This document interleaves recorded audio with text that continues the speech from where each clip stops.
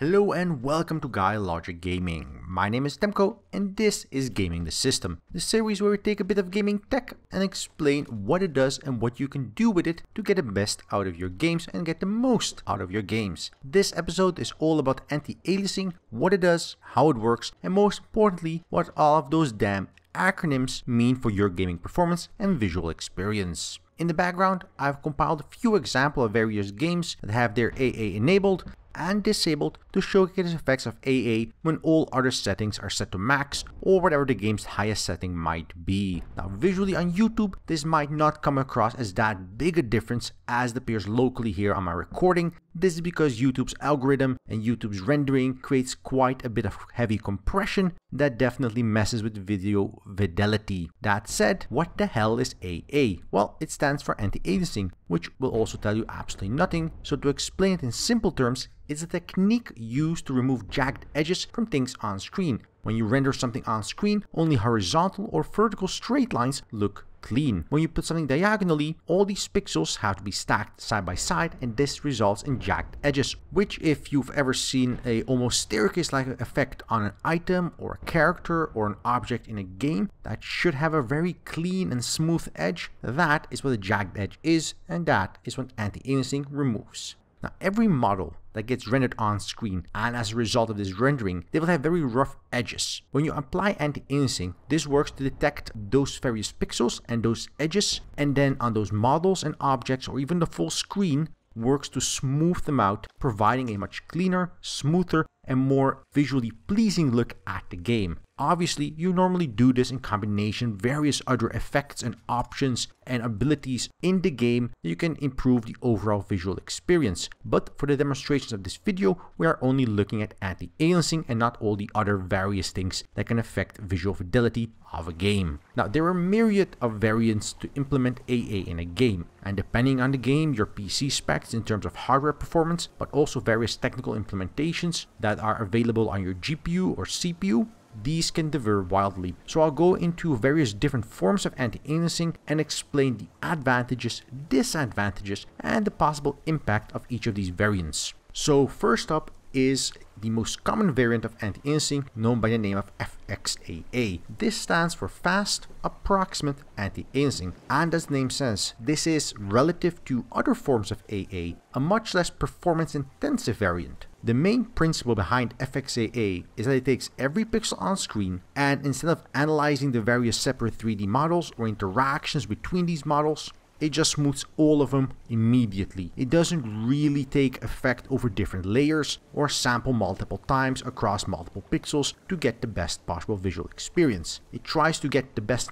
approximation, hence the name, of what it can get around to. The side effect of this is that it also includes things that have already been affected by different other shaders, by different other effects in the game, and that may again result in the effect you get on screen. The base result here for FXAA is that it results in something can only be described as blurry textures. And though this is still many times better than not having any AA at all, this variant does keep with some trade-offs that depending on the game might not be something you desire. While light on the performance hit for your graphics card, this blurry effect can and does have major annoyances in games when developers don't properly time the drawing of things like on-screen text and UI elements which are also affected by this type of AA.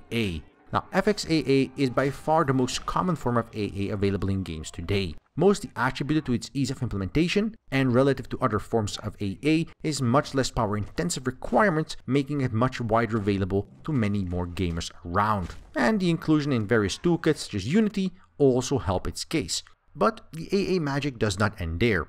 Next up comes MSAA. Now MSAA stands for multi-sample anti-aliasing, and here the tin says it all as well. This variant of AA takes every pixel on screen and works to improve the visuals and smooth the edges of each one several times before combining all these different measurements and samples down to a new frame before sending it on to your screen to be rendered. Obviously, this is a very computer power intensive way of removing jagged edges, as not only does each frame need to be redrawn several times over for this form of AA, which increases the effects and necessary need of memory and GPU bandwidth, it also draws many more frames on screen than you might visually require just to smooth out jagged edges, because generally speaking, if you redraw the various pixels in the middle of a model, you're not going to get the best benefit as opposed to drawing edges which this type of AA does definitely ignore in its vigor to make sure every pixel is sampled multiple times over and taken into account. Further compounding the need for high performance to achieve the best results, there are various methods of using MSAA,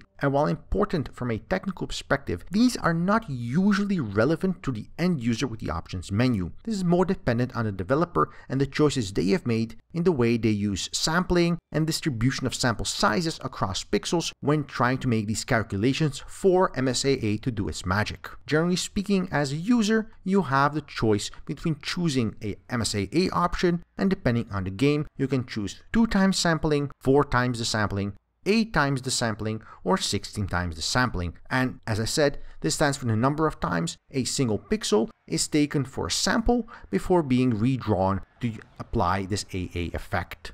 But again, it stands to reason. The more times you sample something, the higher the overhead requirements are for your graphics card in terms of performance and memory to perform this type of AA. Multi-sampling does have a few drawbacks outside of the overhead requirements, especially once you get to the point where you are already at times 8 or times 16 MSAA. When you're at this type of performance requirement and you have the computer power to deal with it, it might even be a better option to take a look at super sampling as opposed to multi-sampling, because for the same level of performance requirement, that might provide a better visual experience. Now, if you take MSAA as a very intense form of AA, supersampling takes that up to the next level, where it performs the basic ideas much the same way as MSAA does by taking the same pixel and taking various measurements of its place and color and how it should appear altered to appear smoother to the player on screen, super sampling takes the pixel and renders it at a much higher resolution to make these calculations, resulting in, obviously, a super sampled pixel, a super sampling for AA. In much the same way the calculations are made, it takes this visual fidelity for these calculations and scales it back down again to create the effect that you get on screen.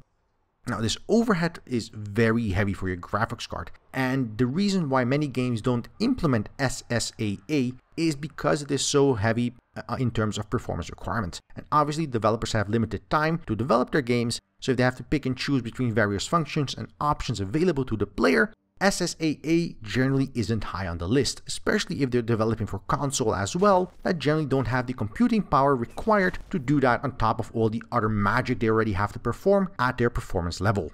Especially if you try to sample this at times 8 or times 16, it becomes very inefficient in a very heavy-handed way of trying to remove jagged edges, you might have to compromise on other options which might not be the best solution. Obviously, if you have the technical monstrosity able to run and churn out frames at this requirement, you should definitely do so. Now, there are other forms of AA and other forms of adapting AA to existing formats, such as using a different form of SSAA called adaptive supersampling. And while I won't go into details for these various adaptations and options and different methods of implementing AA because they are generally mostly important to the developer and not so much to the end player, it is good to know that there are variants and even if one game doesn't run AA properly for MSAA, another game might run it for you quite a bit better due to the choice of implementation. Do keep that in mind. That said, if you have the capability of running a high SSAA resolution and sampling size, it might even be a better idea to just render a higher resolution. Running a game on a 1080 Ti at 4K will have much the same effect as super sampling due to the way that the pixel density appears on screen. The same goes if you're running a game on, a, on something like a smartphone. Due to the density of pixels on the display, it becomes much harder for the human eye to notice the fact that the edges are still jaggy and jagged because there's so many pixels on screen, it doesn't appear that way, even without any implementation of AA. Obviously, the vast majority of us don't have the technical performance on a computer or the gaming peripherals for 4K gaming to do so, and for us, for now and for the foreseeable future, implementing AA is going to be the way to go forward. But which method of AA should you use for your games? And this fully depends on two things. Obviously, the game's implementation as available in the game. It might just come down to whether or not you want to enable AA to a yes or no question. And that might be all the choice you have. It might not even explain the type of AA that is in the game, you'll have to test and see whether or not the performance impact of their implementation is worth turning it on. So generally speaking, if there is no explanation, 9 out of 10 times in my experience, it's FXAA. But other games allow you to choose from FXAA to SSAA times 16 in these scenarios, you should definitely try to find the good balance between AA and other various different options in the game, such as maybe higher texture quality or shadow effects. And if you found that sweet spot and balance, do remember it, because chances are you want to try that same one on the next game next time. So that is AA in a nutshell. Those are the various options and things available to you, and I hope you learned something today. So thank you for watching. If you like this video, do hit that like button. And if you found it useful and want to see more of gaming the system, be sure to press the subscribe button down below. And if you truly want to support Guy Logic Gaming as I continue to make ad-free content available to all of you, then do check out Patreon down in the description below. So I wish you a good day and until next time, right here on Guy Logic Gaming.